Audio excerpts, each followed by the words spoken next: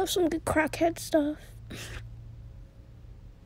but literally, I love how I said Boku na Yarichin osu dayo. Listen, me being a Yarichin Bichi, wait, Yarichin Bitch Club fan, loving that show. It's amazing. Go watch it if you haven't. Mm. Okay, bye.